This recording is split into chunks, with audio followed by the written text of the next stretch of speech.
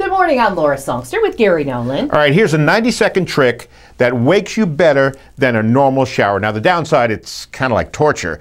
Uh, first, shower like normal. Then, before you get out, you blast yourself with cold water for 30 seconds, switch back to hot water for 30 seconds, and end with another 30 second blast of cold. As Nancy Reagan said, just say no. Your tickets to see Rudolph Musical at 740 on 99.5 WMAG.